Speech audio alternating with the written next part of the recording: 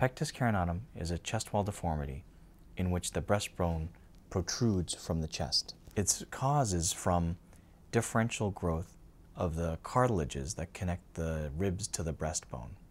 In this situation, the cartilages are growing quicker than the bones are growing, and instead of being pushed inward, the breastbone gets pushed outward.